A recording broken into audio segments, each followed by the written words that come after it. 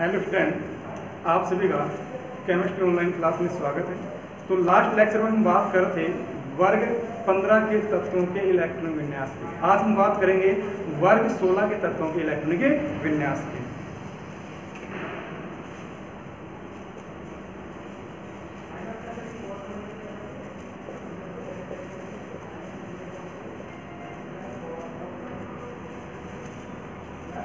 ठीक है बच्चों? वर्ग 16 इसको हम दूसरे नाम से भी जानते हैं। आप बोल सकते हो, सर, इसको दूसरे नाम से किसे जान सकते हैं? तो यहाँ पर आपके पास आएगा, वो आएगा सिक्स ए ठीक है? बाकी ये जो होगा आपके पास में, इसको हम बोल सकते हैं कि सर, ये होगा चालकोजन। किसके नाम से जाना जाएगा परिवार? चालकोजन। इनका जो तो सामान्य इलेक्ट्रॉन विन्यास होता है वो होगा आपके पास में N H two N P four तो देखिए, इनका सामान्य इलेक्ट्रॉन विन्यास क्या है? N H two N P four तो बाह्यतम कोष में कितने इलेक्ट्रॉन है? चार, दो, छह। तो संयोजी इलेक्ट्रॉन कितने होंगे? छह। संयोजी इलेक्ट्रॉन की संख्या।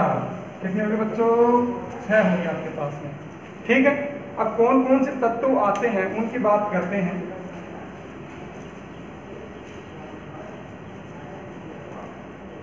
आपके पास में तत्व दिए गए हैं जो वर्ग 16 में आते हैं, ठीक है? तो ये ऑप्शन परिवार के सारे सदस्य हो गए आपके पास में, आप ये बोल सकते हो। अब ऑप्शन का जो परमाणु परमाणु जो होता है, वो कितना होता है बच्चों? आठ होता है। ये कितना हो जाएगा? सोलह हो जाएगा। ये कितना हो जाएगा पास में? सैंतीस हो जाएगा बच्चों। ये आपके पास में कितना हो जाएगा? बावन हो जाएगा। और ये आपके पास में कितना हो जाएगा बच्चों? आपको अगर ध्यान हो तो हमने यहाँ पर बात की थी कि सर जी, यहाँ से यहाँ जब हम जाते हैं तो परमाणु परमाणु में बत्तीस का वृद्धि हो जाती है। बत्तीस इलेक्ट्रॉन ऐड कर देंगे। तो जैसे आप इसमें बत्तीस ऐड करोगे तो आपके पास में कितना आ जाएगा? चौरासी नंबर पर आ जाएगा। कितने नंबर पे आ जाएगा? चौरासी नंबर पे आ जाएगा।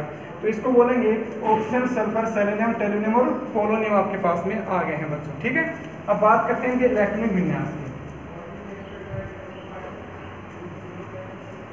देखिएगा ऑक्सीजन जो होता है, इसका इलेक्ट्रॉन विन्यास क्या होगा? One H two two H two two P four तो मैंने ये बोला कि इनका जो तो सामान्य इलेक्ट्रॉन विन्यास होता है क्या होता है? N H two N P four कितना आ रहा है? एच टू पी फोर ठीक है? अब इसकी बात करते हैं।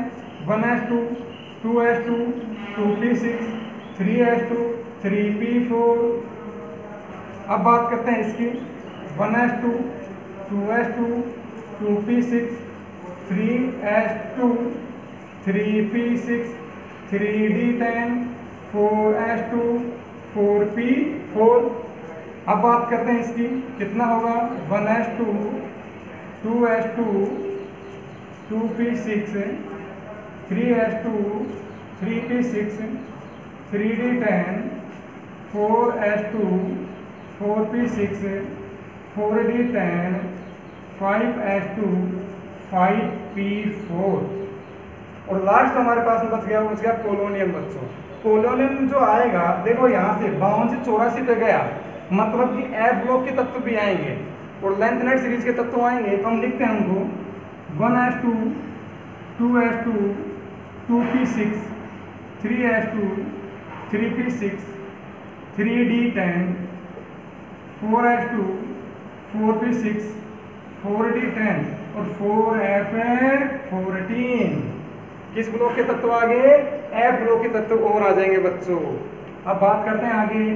Five H two, five P six, five D ten six H two और सिक्स पी फोर। कितने हो गए आपके पास में? Six P four. तो देखते हैं, इनका जो तो सामान्य इलेक्ट्रॉन विन्यास था, वो क्या था हमारे पास में? N H two N P four. क्या यही दिया है क्या? बाह्यतम कोष।